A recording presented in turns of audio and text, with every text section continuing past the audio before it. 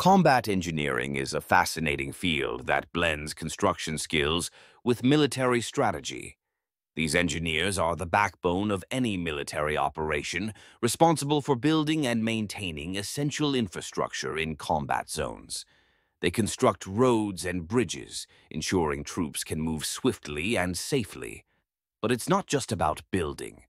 They also specialize in demolitions, clearing obstacles, and even laying down mines when necessary. One of the most critical roles they play is in fortification, creating defensive positions that protect soldiers from enemy fire. They're trained to work under pressure, often in hostile environments, using a variety of heavy machinery and explosives. Combat engineers also conduct reconnaissance missions, assessing terrain and identifying potential threats, which is vital for mission planning. Their training is rigorous, combining physical endurance with technical skills, and they often work alongside infantry units, making them an integral part of any ground operation.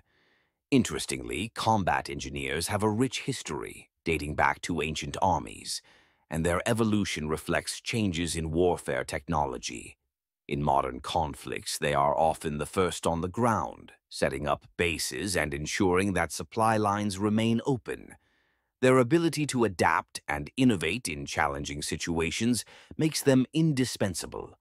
Ultimately, combat engineers are not just builders, they are problem solvers, ensuring that military operations run smoothly and effectively.